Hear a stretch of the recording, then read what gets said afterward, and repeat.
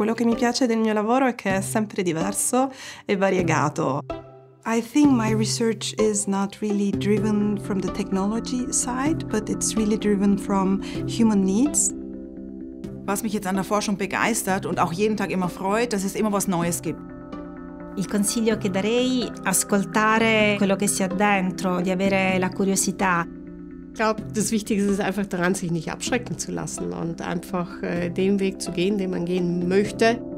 One should not be scared, one should just try and there's always people who can help you.